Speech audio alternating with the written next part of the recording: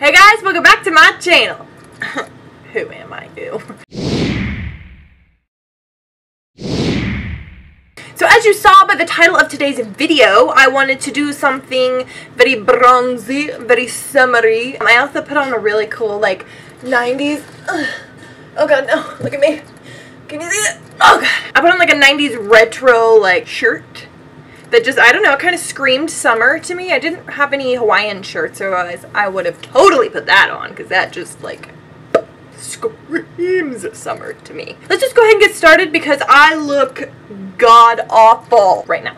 I've got my hair in my little, my little cute bun thing with the, the th thing. Yep. Mm-hmm. So we ready to start. So I've already moisturized my face. So the next thing I do as soon as I get done with that is primers. The one I'm going to be using today is the Makeup Forever Step 1 Skin Equalizer. This is the mattifying one. I went back to this one because the one that I have been using actually has just not really been cutting it as far as mattification goes and I remembered this one was always like it was my holy grail prior to that one I figured why not try it again we're just gonna rub that into the T-zone area like where I get really oily. Kind of like squish it in there, you know? Okay, so next up is my all-time favorite uh, pore filling primer, the Catrice Prime and Fine Primer. And just put it where I've got the big old pores, which is basically the exact same place that I get oily. Who would have thought? And rub that sucker in. I think that'll do. What do you guys think? So as far as foundation goes, I'm just going to go in with one of my holy grail foundations because I love it, but I am running out of it, so you're going to see me put it on real ghetto-like. This is the uh, YSL All Hours Foundation. I have mine in the shade 50B Honey. Oh, it doesn't expire for another year. Wow. Ew, who, why? So what I'm going to do is give her a good swirling. and then just put it on like this. I know. I know. Don't judge me, okay? You've done this too, okay? And if you haven't, then you're wasting a lot of product. That foundation is like almost 60 bucks. I'm using every last drop, okay? And then I'm going to go in with the good old MAC Fix Plus and beat this into my face.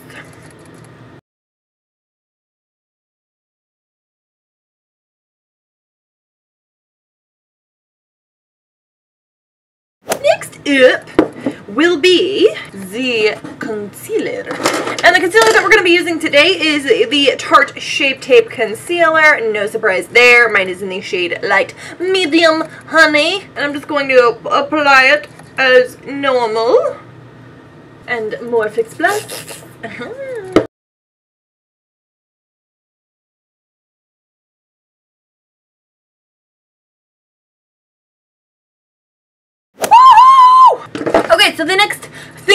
Are going to do is cream contour. Couldn't remember the name. So I'm going to be using the Makeup Revolution foundation stick like I used in my uh, recent review of this foundation. But I'm actually going to be using this in the dark shade, this uh, F15 shade, to cream contour my dome. So I'm going to do it just like so.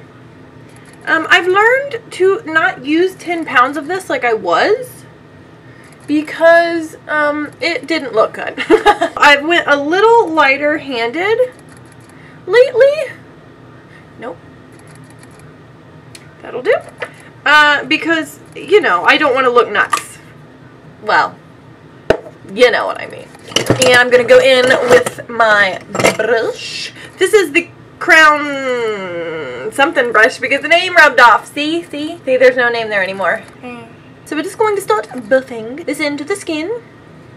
For some reason I always like to start on my right cheeky area. I don't know why, but I do. And uh, wiggling, squiggling it all around. Buffing it into that hairline, you know. This is really going to help kind of set the tone, like the base, for the bronzy look that I'm going for. Does anybody else ever have the urge just to scream while you do your nose contour? Because I do then I go back in with my beauty blender, a beauty sponge type dude. What is on the wall? There's a giant ant on the wall! Ah! No! Ah! Where'd it go? No! No! Ah! It's still alive! Ah! Holy guacamoles, man. Well, if you didn't know that I am petrified of bugs, uh, then you know now. Woo! Lit you girl up! Mm-hmm. Holy moly. I'm gonna want to turn around and look at the wall every 32 seconds just to make sure there's no giant ants crawling up the wall. The thing was going to kill me. It had plans. It had plans. I don't even know it personally, but I, I it just had to have. Alright, so we're gonna go ahead and set the face before I scream again and crack everything again. So I'm gonna go in with the Coty Airspun powder stuff. Don't look at my nails. God, they're awful. So I'm just gonna take my little poof and boop it around a little bit.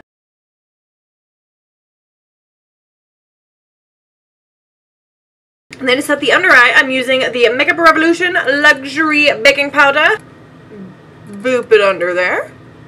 So I'm going to set the rest of my face with a foundation powder to kind of get rid of that white cast. And the one that I've been using is the Maybelline Superstay Better Skin Powder. And I'm just using this Morphe E2 brush. This is one that I mentioned in my brush favorite. I shall link that video for you up here in... Um, one of these corners. And you should definitely check those videos out. So I'm going to go in with kind of like another holy grail product. So to brighten up the under eye again, even though it is still kind of decently bright, I really want to make it pop. And to do that, I'm going to be using this Tarte Chisel something palette, Park Avenue Chisel palette. I'm going to be using the highlight shades here on the end. So I dip into both shades. And I go pretty liberally and I just kind of pat it underneath of the under eye. Look at how bright she got! Woo, girl! This stuff is phenomenal, honestly. I wish they would come out with like just uh, these shades in another palette because I love them so much. So we're gonna go ahead and start the bronzing process. My hair's getting even cuter as we go on. But to start the bronzing process, we're going to use my favorite bronzer had to do a quick ant check. So this is the Too Faced Chocolate Soleil Bronzer. Isn't it the most beautiful thing you've actually ever seen in life? I know. I'm going to grab my bronzer. Well, this isn't really my bronzing brush, but I grabbed you, so we'll use you. Kind of boop it around in there, get her all nice and coated, and just bronze the hell out of my face.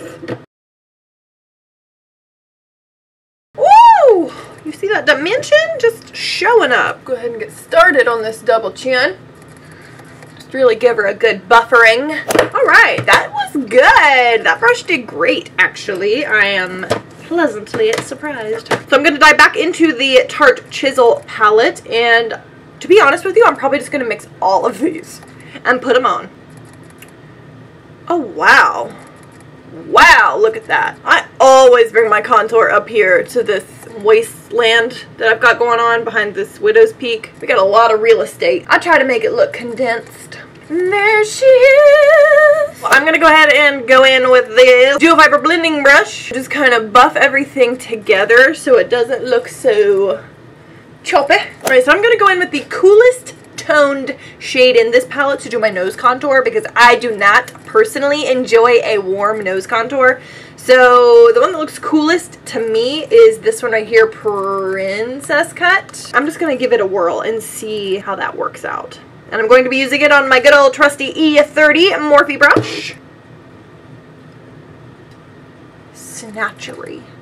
Alright, so I'm going to go back in with that same stippling brush to kind of buff that in, you know, make that look nice and blended. Perfect.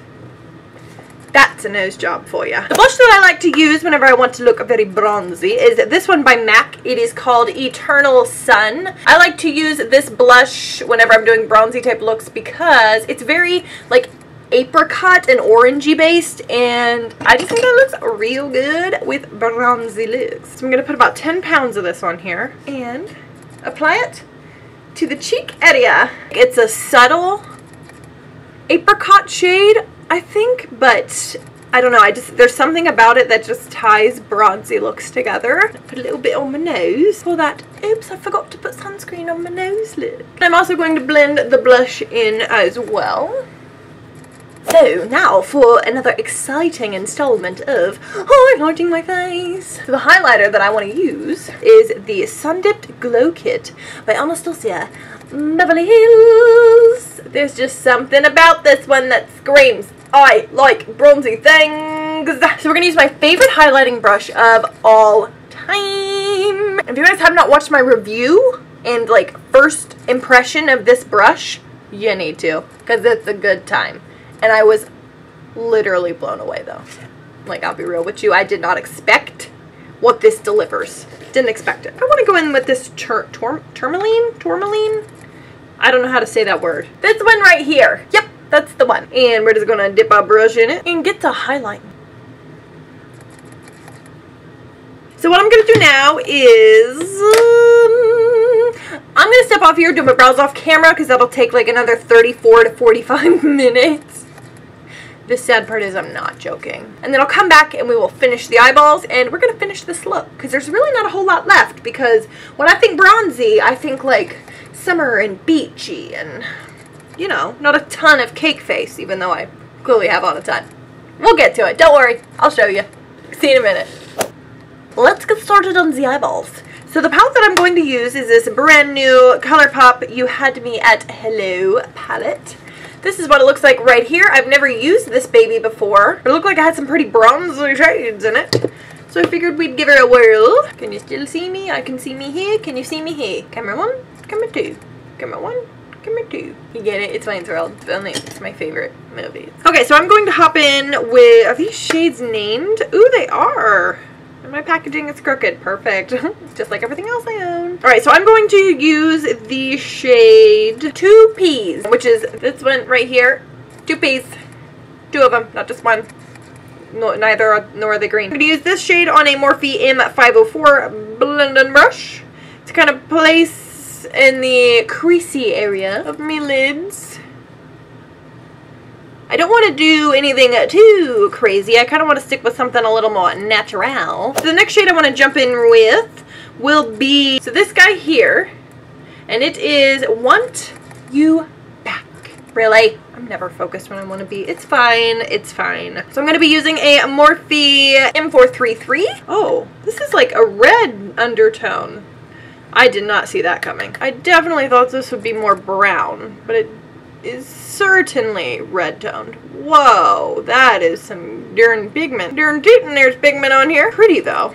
It's not what I was expecting. I'm going to go back in with the original Morphe brush, the big blending brush, and just kind of blend it all together. I'm not going to add any more product. We are starting to look pretty red, and I don't want that. The last color that we are going to jump in with is, I think I'll just use the same brush, and I'm going to use Sparks Fly. This one right here. I'm hoping it is a deep chocolate brown, but something tells me that since the other brown had red undertone, this one probably will too. I mean, it's certainly more brown than the other, but it still has that red undertone. It's still pretty. Alright, and we're going to buff it all out again with my same blending brush. It kind of makes it a little bit more subtle looking. What this palette doesn't have is like a really nice light shade that I could highlight my brow bone with. Unless I go straight in with a shimmer, which I don't love doing, but I mean, I could. We'll go ahead and do it. We'll go ahead and do it. Oh, it makes me uncomfortable. All right, so the one that I'm going to go in with is the Knot. This color right over here. It's a very pretty champagne shimmer-esque color. Okay, that's pigmented. We'll see what it looks like on the eyeball. We go. Whoa, mama bear. Whoa, that's a brow bone highlight. oh, Kelly Clarkson. Holy macadamia nuts. Let's take that blending brush and see what we can do here.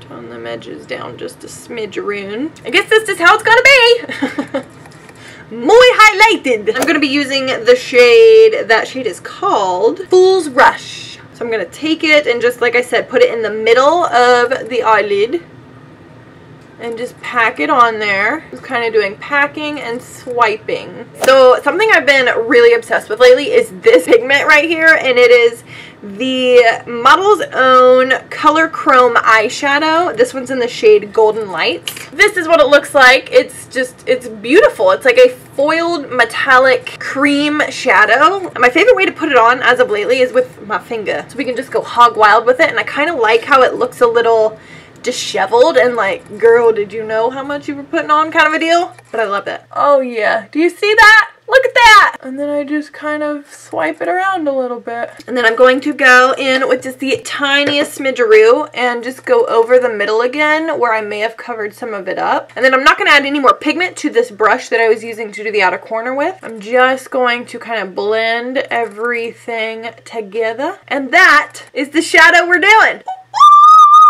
So let me do the same thing to the other eye really quick. And uh, I'll catch you in a minute. All right, now it's time for liner. And the liner that I want to use is this one right here. It is uh, the Tarte Skinny Smolder Eyes in the shade Golden Tiger's Eye. That's a mouthful.